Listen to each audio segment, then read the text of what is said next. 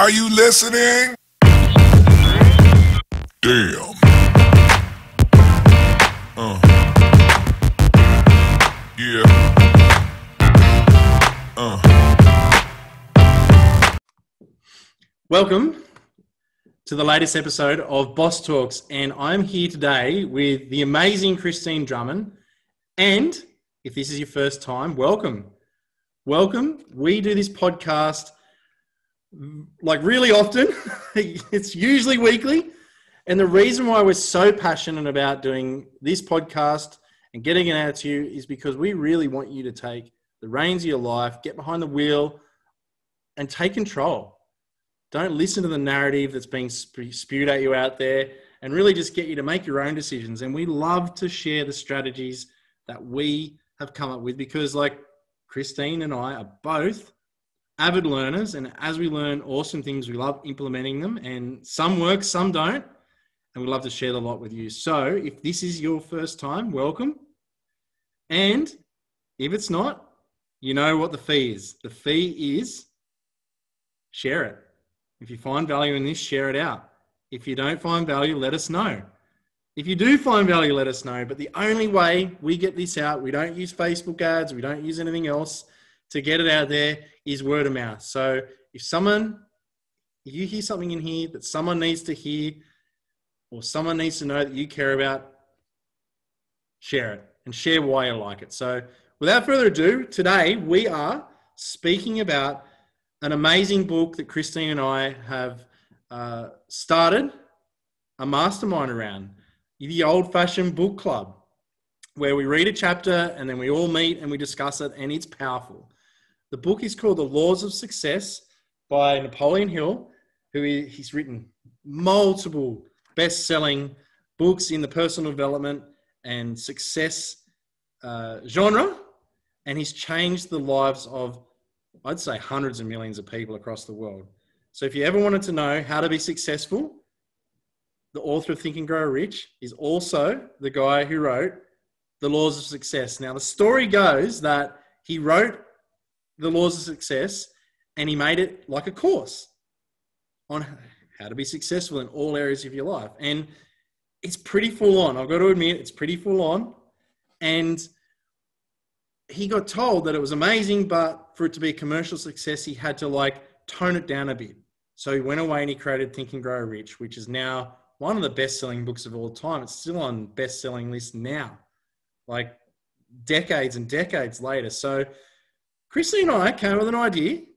All right, it was just Kristine to to make the podcast around uh, some of the some of the chapters we read. And today we are talking about the first chapter, which is a definite chief aim. So Kristine, long intro. How important is it to have a definite chief aim? Oh, mate, I love that, and thank you for the intro. It's um, it has definitely been a game changing book for me already. I read uh, Think and Grow Rich, and again, that was game changing enough. So I can't wait to finish reading this book.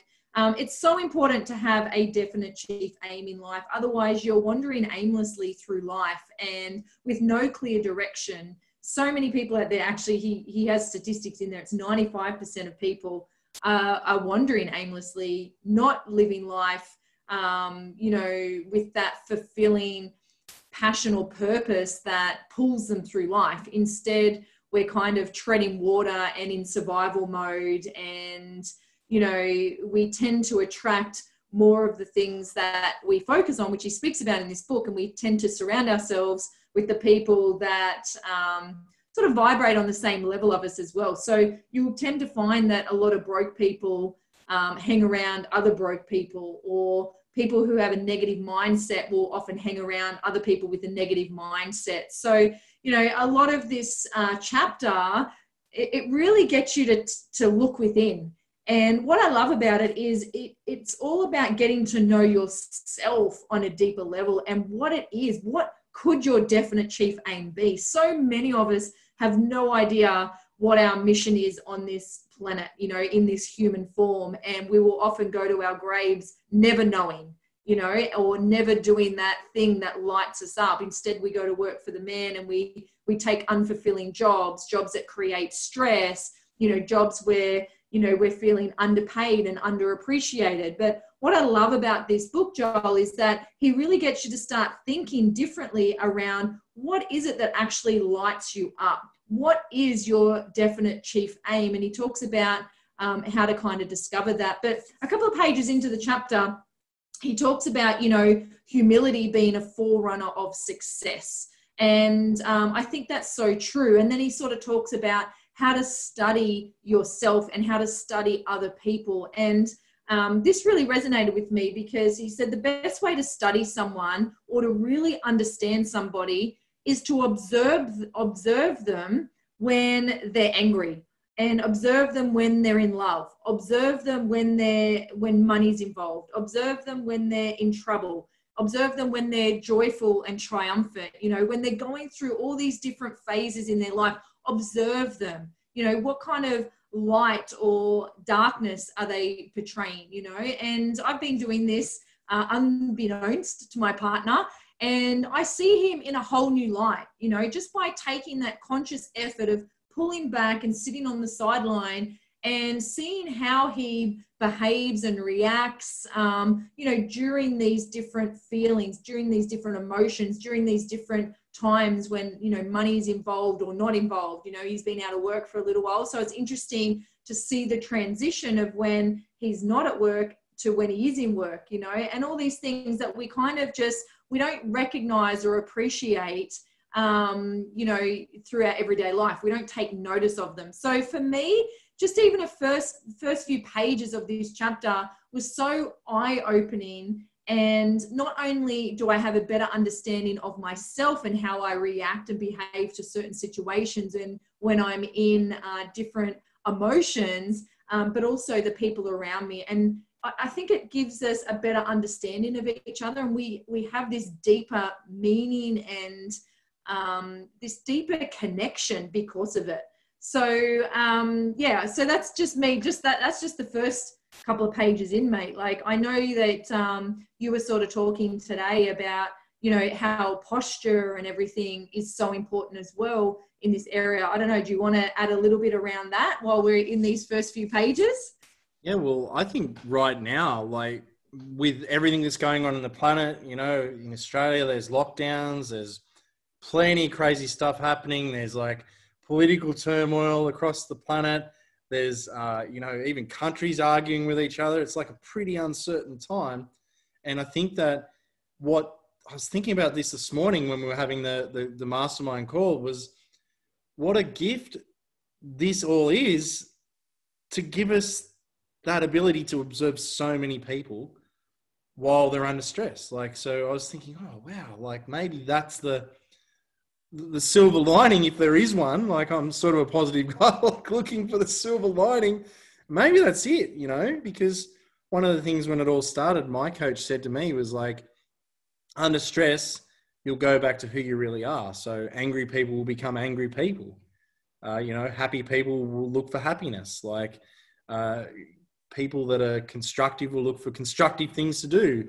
You know, probably the people that really love fitness when all this crazy stuff happened probably turned to the to fitness even more. And you know when the gyms closed that probably was a really super challenging to, and you know all these different things that are happening just to see you know the the yeah 100% what's what's um what's happening for people. But yeah like like the posture of your body like you were saying like the you know the, the, the four things that uh, we study in people when they're under stress, when they're out of their comfort zone, is that you know step one, posture your body.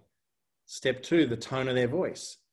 You know, look at their eyes. Are they looking away all the time? And I know that's one thing that uh, is like I believe it's a pet peeve of yours, Kristine. People that can't look you in the eye and you know be like it's like polite or whatever, or you know, uh, and the the use of their words so what words are they using? And um, in the in learning that, when I was reading that, and in the book he says to do that for others. Um, what I was so happy about is the people that were in our mastermind actually also wanted to look at themselves first in all that. So I think that's um, that that that's a positive as well. So um, but yeah, like like like getting to the the the the definite chief aim aspect of it. Like what I'm really curious about for you, Kristine, is uh, like well, from you is you've had definite chief aims in the past, and you know, like I, some people say it's goal setting, but for some reason, the definite chief aim feels a bit more uh, like it has a bit more power to it, a bit more gravity to it. You know, I've had goals, I've had definitely had definite chief aims. I haven't really mastered the one where it's like I know I've got this other larger one that that's out there that I want to that I want to identify more specifically. Uh, but I've found like the small ones, like building building a certain amount of wealth, like getting a certain amount of clients, getting to a certain level in a business, like you know buying the property that I'm on now. You know, so when I find that target, I can go after it.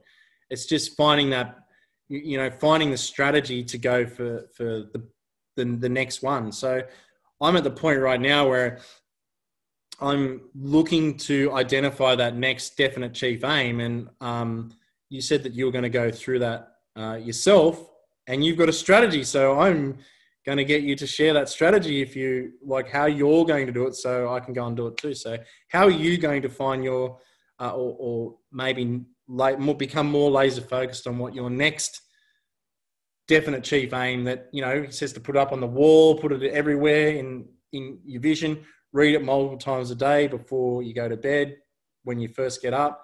Like how how are you going to find that so that we can do that?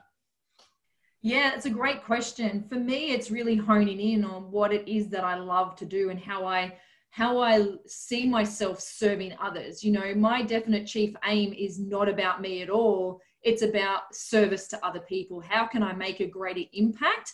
And um, the, the way that I've been taught in the past is, you know, if you were given six months to live and resources and money were not an issue, like really sitting down in a quiet place with some music on and really thinking about that. What would you do with your last six months on this planet? You know, who would you be spending your time with? What activities would you be filling your day with? Um, would you be traveling? Would you be at the beach? Would be in the mountains? Would you be meditating? Would you be out there educating and inspiring? Would you be setting up a legacy business or a legacy charity so that your name continues on? Like, so for me, um, you know, I got some time to really hone in on that and what I would do with my last six months. And from that, your values pop out you know you can extract there's some key words that you'll write down. And and we just went through and we simply just highlighted those key words. So inspiration education travel family you know they were all highlighted in my passage that i wrote down. And then it's a matter of you know really squashing it down to your top three values. You know what are your top three values or priorities in your life? And and that sometimes they will change you know. And when i first did this my family were not in my top three.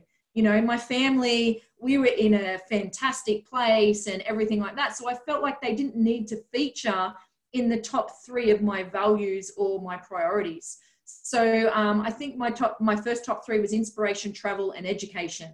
And that all comes from empowering people to live their best life and things like that. So when discovering what your definite chief aim is, you can't do it when kids are running around the house. You can't do it when there's other people, other energies, you know, that are in, interfering with your vibration and your your frequency. So this is where you've really got to get out on your own, get out in nature, get in a quiet space where it's just you, no distractions, where you can really tap into source, God, the universe, whatever, whatever it is to you, where you can really feel alignment and get some answers. And you'll be surprised when you get into that place where you have no distractions, no kids coming in and interrupting or partners. You'll be really surprised by how clear the answers start coming through when you start asking them. And, you know, there's a passage in this book that he says, um, you know, there was an old farmer um, who used to wind up his prayers every day saying, Oh God, give me an open mind.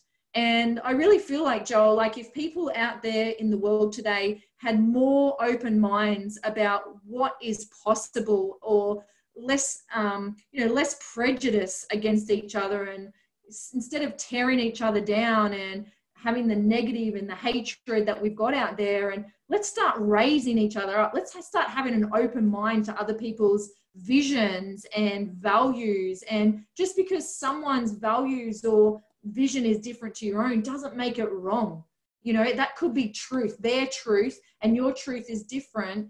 Um, but the more that we kind of extract the strengths out of each other the um, the better the planet will be. So an open mind is crucial, and it's one of the things that he mentions in this chapter. So if you are looking and and wanting to discover what your definite chief aim is, that's what I highly recommend. How would you spend your last six months? Get into a place of um, isolation where you can really hone in on that and take some notes. And um, Joel, in the book as well, we they talk about some of the most powerful and successful people on the planet, how they used to do these think weeks where they would go away for a week in the bush, in the hinterlands or whatever, and they would just think for a whole week, no distractions. Um, and I actually had this opportunity last year when I went to America for three weeks with no kids, where I had that freedom to really hone in on this again. So um, I got a lot of answers last year. So now it's just about defining that again.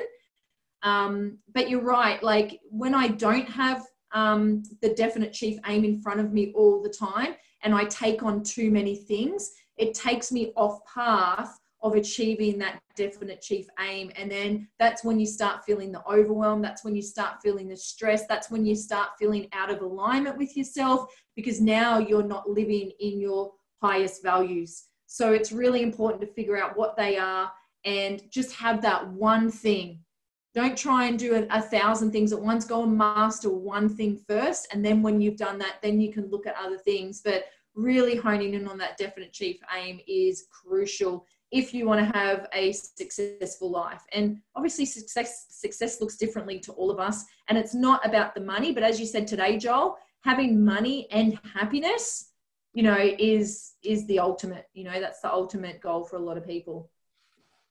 Yeah, well, he says in there that the the 95% of people are like unsuccessful and 5% are successful. And that's what this podcast is about. It's about either helping the 5% become even more successful or some of the people that want to be part of the 5% become that. And, you know, he says that of all the people surveyed, and it's like 16,000 people surveyed. So it's not a, it's not a tiny, uh, you know, like pool of people it's, he said that the people that are in the 5% are doing something that both they're happy doing and that makes them money. He said, if any of those ingredients um, are missing, you're actually unsuccessful. They, they fall into the unsuccessful vote because there's no point in doing something you hate forever, right? and there's no point doing something that you love if you've got to live in poverty. So, you know, it, that, that happens. But, you know, like, and you say, like, people do resist new ideas so that open mind is important. And you know, some of the notes just that I that I, I didn't share this morning, but like it says here, like I must keep, uh, I must not close my mind because stagnant minds are the breeding place for fear. So if you want to, and fear is what causes stress, and stress is what causes illness, and you know, uh, you know, the dis-ease of your brain and your mind causes disease in the body. So like, um, like I must keep a I must keep my mind open. I must continue to make certain that I don't have contempt before prior examination. So I can't just shut the door on things before I actually take a closer look. You know what I mean? And if the world was full of more people that understood that one sentence, we'd probably be in a utopia now. So, you know, success is the development of power uh, with which to get whatever like one wants in life without interfering uh, with other people's rights. So, you know, power is inseparate, inseparately related to success, and power is the organized energy or effort. So, it's about, you know, like having that definite chief aim and being able to to to look at new things with with an open mind. And I've written down already, like, oh God, give me an open mind. So, so I think that's where uh, you know, like it's sort of a paradox, isn't it, Drummo? Like we we've got to learn. Like successful people say no to the most things. So like, uh, and while still having an open mind. So you got to have like both hands, like like both of those things in each hand. You know, because you got to be open to new ideas, but you also got to be willing to say no. And I think the most successful people I've seen, like I know that are successful people, and if I had a hair, like if someone comes up to them with a harebrained idea, they say no. Like I don't think you could get, uh, you know, Jeff Bezos or Warren Buffett to, um, I don't know, go canoeing down a creek or something. I don't know, like something that they're not interested in doing that's not helping them get their definite chief aim. So I really find the value in this, you know, awareness, like reading this book and having this mastermind and and, and why I recommend it so highly and is to to have the awareness that you may not have your definite chief aim, that you may be coasting through life and being pulled in all different directions and you know living someone else's dream who does have a definite chief aim and you might not even know it. And like i say like you said before it might not be money that we're talking about it could be your fitness. You could be like destroying your health working for someone else who's looking after their health you know? Like how many people worked in coal mines without the proper protection and you know or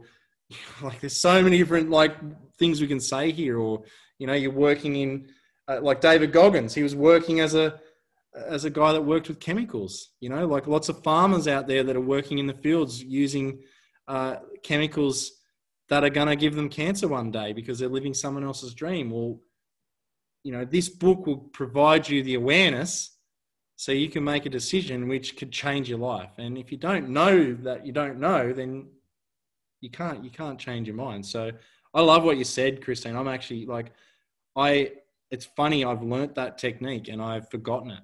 And now I've remembered it and I'm like, oh wow, I've already got um, you know, two things there. So uh, yeah, that's great. So um, I really I, I highly recommend that anyone that reads this book uh, go read the introduction first, where it's going to tell you to uh, to create a mastermind.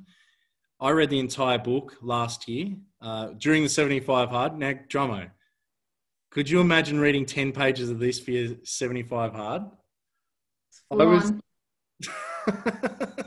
Are you doing it for your 75 hard? Yeah. Oh my God it was crazy for me. There were some days where I was like, "Oh my god, that's like reading twenty pages of any other book."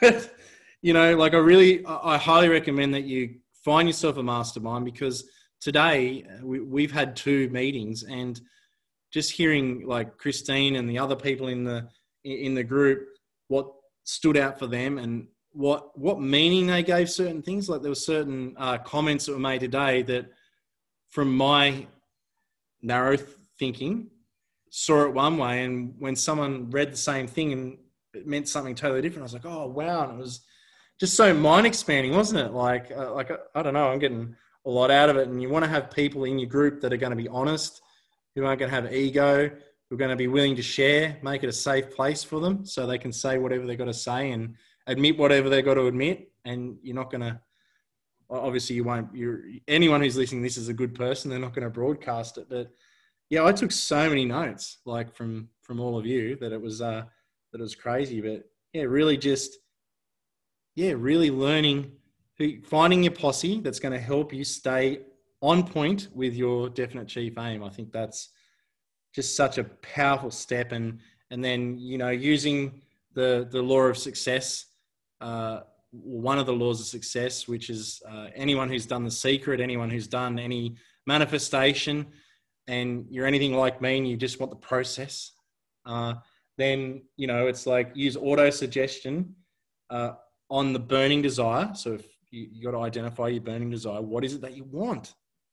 Do you want to have an amazing relationship? Do you want to have a six pack? Do you want to be rich? Do you want to have a Ferrari? Do you want to have a beach house? Like, what do you want?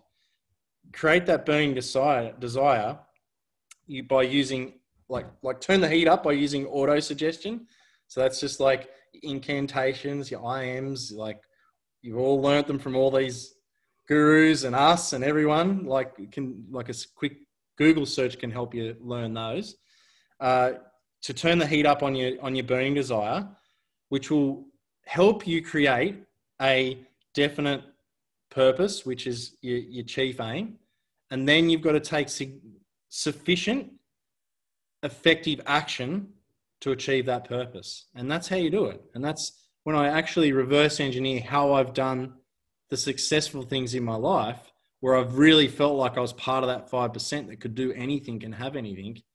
Um, that's what I did. And the times that I'm like just floundering around, not really getting the results I want, it's because I'm, I'm not doing it. so it's black and white. I don't know. Did you see it that way, Christina? Like it's just so obvious. Like, yeah, totally. And um, and I love how you mentioned um, the posse, the people around you, because how often do we mention something or we say we're going to do something or we've, we've got this goal that we want to achieve and depending on who you bring it up with, you will get different reactions. So the people that are living in fear and worry and a lot of those negative emotions, you'll get a totally different reaction to the people who are living in a more blissful, positive, successful state all the time. So uh, I've got a really good example of this. Um, you know, just recently, it, w- it was my definite chief aim to take my whole family whale watching and have the most incredible experience without any fear, just everyone get on the boat, have the most amazing time. Now, someone in my life very close to me has done this experience before and they have a lot of fear around it because they got very sick and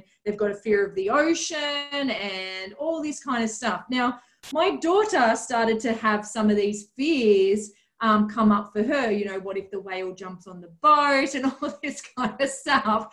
And I had to say to the people that were in our posse, um, everyone, keep your fears and your negative emotions to yourself. This is going to be the most positive experience of our life.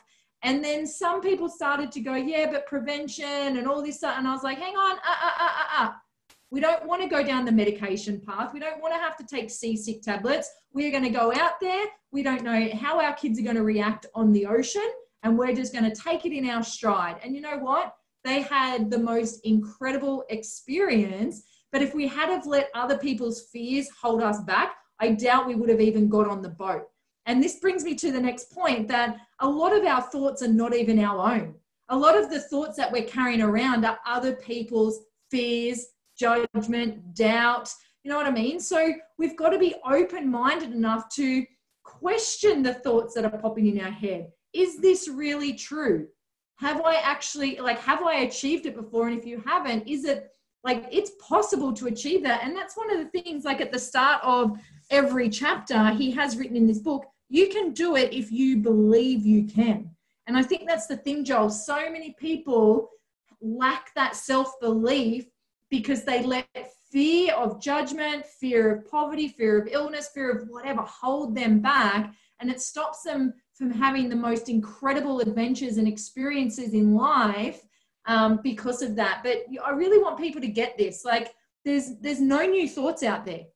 Okay, there's there's no new ideas. Like it's just basically they're getting washed, rinsed, repeated. They're getting thrown at us in different ways. So something in this book that really resonated with me was, you know, really making sure that you're exposing yourself to different ways of thinking. I think that's the key you know and you can't do that by doing the exact same thing with the exact same people every day. You're not challenging your thought processes. You're not challenging your thinking and we become lazy thinkers. We don't question anything. We become the sheeple we do what society wants and we just you know we just go with the flow.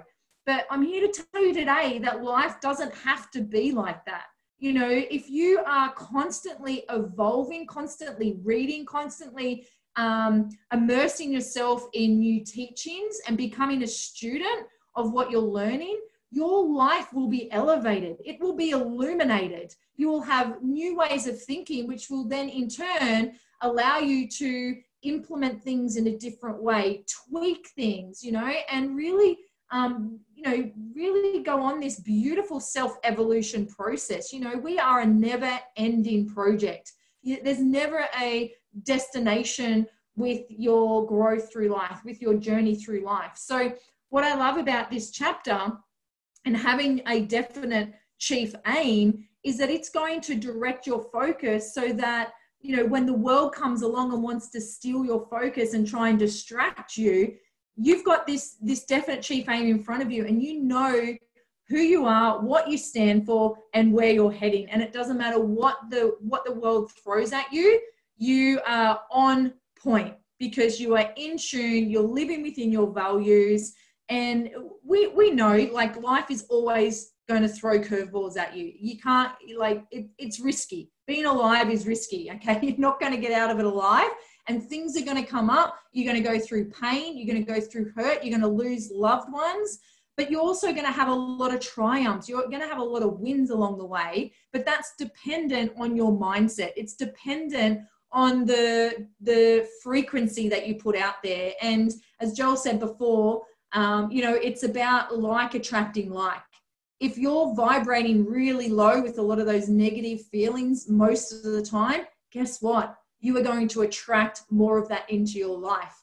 Whereas if you tend to play above that and you vibrate higher and you turn up to life with more energy and an open mindedness and, and with that posture that Joel spoke about, as I said, your life will be elevated because you will attract people of that higher vibration as well. There'll be a meeting of the minds. And that's where the mastermind group really comes in play as well, Joel. It's so crucial because when you're hanging around people that are vibrating at the same level that want to elevate their life as well, that's when you're in this vortex of anything is possible. You know, that's when your dreams, your goals, your beliefs starts to grow bigger and bigger. And that's what I love about it. And that's kind of what this um, this the first part of this book is alluding to.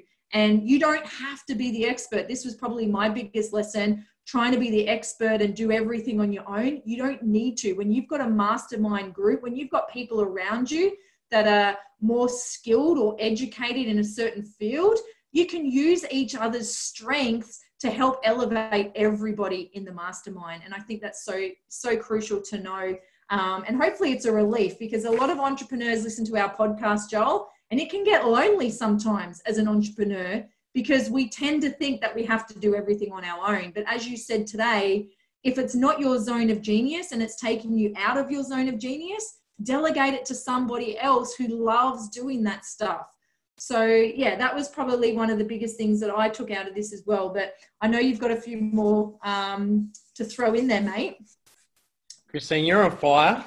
It's like every, every, like practically every podcast, I'm like, holy crap, like I've got to tough act to follow when you know because you just do such a great job of getting it across. But I have to say that I could only imagine having the chief of the negativity police uh, organizing my events for me uh, as a family.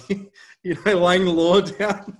It's it's funny. You don't know. Your ears must burn sometimes when I get asked about our group, our events, or anything like that, and I get someone says, "Oh, what if someone turns up and have is negative?" I'm like, chief of the negativity police, Kristine will just kick them out.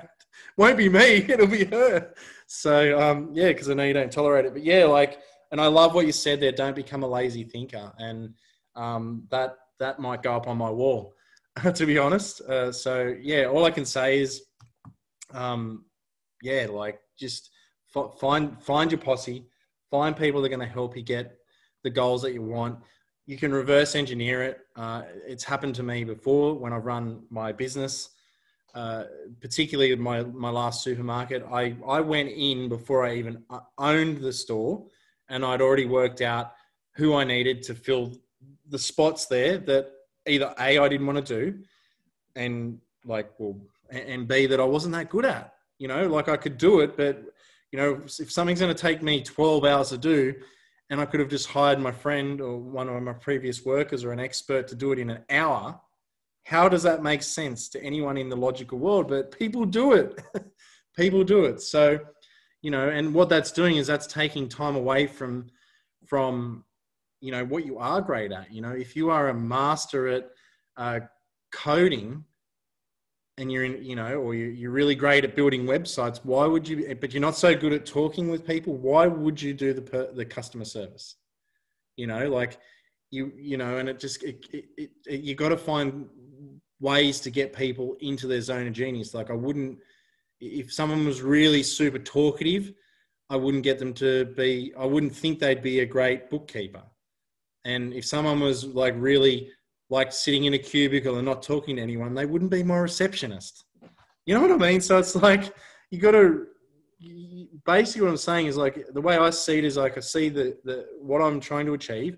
I put it out on the table and I think who's going to be the best fit for that and how do I bring value to them to get them to come on board and, and, and help me do this. And, you know, that whether that's your health, whether that's, you know, creating a podcast, whether that's creating an event, whether that's blowing up you know, you create creating like uh, you know the Fearless Mums Club Health Hub that you've got going, or the Fearless Men's Club that we're that we're building as well. Like we've got to get the right people in the right seats, right? And and something that, that, that came up in the book as well. You know, we've got the definite chief aim. We've got to get everyone to buy in into it, but you've also got to be okay with some people are going to start with you, and for whatever reason, because life happens they might become negative. Maybe they're not, you're on the journey and they want to get off. Or maybe they become cancerous to the whole thing. You know, maybe you become cancerous. Maybe you need to get off. Who knows? You know what I mean? So you got to be willing, you got to understand that, like, uh, you know, what we get taught in network marketing, Kristine, the people that you start with aren't the people that you finish with necessarily, you know, and and and that that's the same with with anything, you know. So, uh, yeah, Kristine, I, I'm I'm feeling good about this one. I think I've said all I need to say, and I think the value that's been in this podcast today has just been epic. And you know, if you ever wanted to know your how to get your definite chief aim, Kristine just nailed it earlier on. So go back and listen to that again, and and go for it. So, Kristine, final words. Awesome. Well, just to close it out, like he gives you some instructions for for applying the principles of the lesson, and his first step says decide what your major aim in life shall be. You know, what, what is it? Like, what is your major aim in life? And we spoke about, you know, writing down how you'd spend your last six months, and you know, really identifying what your highest values are. So, um, the second step then is um, you know, forming an alliance with some person or persons who will cooperate with you in carrying out these plans and transforming your definite chief aim into reality. And that's where the accountability group or the mastermind really comes into play. But getting your partner, your spouse, your you know your family on board as well um, providing that they're positive people. I wouldn't get the negative Nancy's in there. Um, but that's it, guys. Like that's how you find your definite chief aim, and um, you know, use the use the strategy that I that I spelled out for you before to really hone in on that. But don't wait. Don't wait a, a week or a month, or you know, like do it this weekend, or you know, um, do it within the next seven days. Like really schedule in some time, like an hour or two, where you can just be completely on your own and you can figure this stuff out and, and ask those deeper questions of, you know, what lights me up? What brings me joy? If I could do anything with my life right now, what would I do? You know, and um, sometimes we don't find it because we don't try different things. So, how can you also be open enough to try new experiences or new jobs? Could you volunteer maybe in a role um, or a career or a passion that you would love to sort of test before you dive all in? So, you know, I think it's um yeah, it's about being open really and um, and really aligning yourself with, as I said, people that are going to raise you up, that are going to help instill the belief in you because that belief is going to get shaky on this journey. It is. The doubt's going to enter, the fear's going to enter, and you want people that have got your back. You want people that say, no, remember that chief definite aim, that's what you're going for. Okay. And staying really true to that um, is is key. And, you know, there's a great book out there as well called The One Thing. And it's exactly that principle, you know, honing in on that one thing that you can give your energy, your passion, your time to um, that's not only going to bring you joy, but is also going to get you paid as well, because that's going to give you more choices and experiences in life. And just to close out, Joel, on the whole mindset thing as well, you know, when you do find that there's some negative things um, creeping into your, into your mindset. And, um, you know, it happened to us a little bit uh, while we were away. Um, things went quite wrong quite often while we were away. We were expecting things to be open and they weren't because of all the stuff that's going on you know, with restrictions at the moment. Um, the weather was was horrendous in the first three days, and we could have sat there, you know, twiddling our thumbs and being all negative. But again, it was my um, definite chief aim for us to have the most incredible experience, and so we had to um, choose alternate alternate things to do. We had to choose um, different activities based on the weather and things like that. Um, and you know it, it works so if you can flip the negative into a positive if you can look for the solution rather than focusing on the problem like wow guys the weather's so crap today we can't go do this what we had planned but what can we do instead you know and really focusing on that. So have a think about that. Where is that coming up in your life right now? Where are the problems or the challenges coming up? And instead of focusing on what's going wrong focus on okay what could we shift? What could we adjust? What could we change and make it a positive to have a positive experience come out of this? So i think that's so crucial mate. And um, oh guys like honestly it's mindset you know being in network marketing and um, you know helping you know thousands of people with all different belief systems all different fears all different emotions I, I feel like I'm like at the top of the umbrella and I get to look down on all these people and the way that their brains work. And the people that are most successful and having the most fun and, and moving through um, are the ones that are the gatekeepers of their thoughts. They are the ones that have the positivity, that are that are you know quick to um, adjust and the ones that just have a different outlook on life and they're the ones that have a better quality of life because of it you know? So really focus on what it is that you do want rather than focusing on what you don't want. I work with a few people that keep focusing on what they don't want and they keep getting more of what they don't want.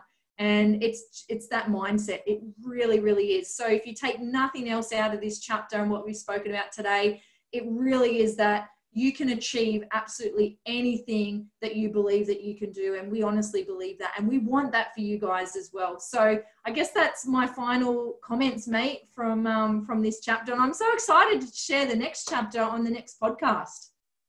Yeah it's going to be amazing. Like and it's going to bring so much value and we will be bringing that to you uh, very shortly. So wherever you are have a most outstanding day.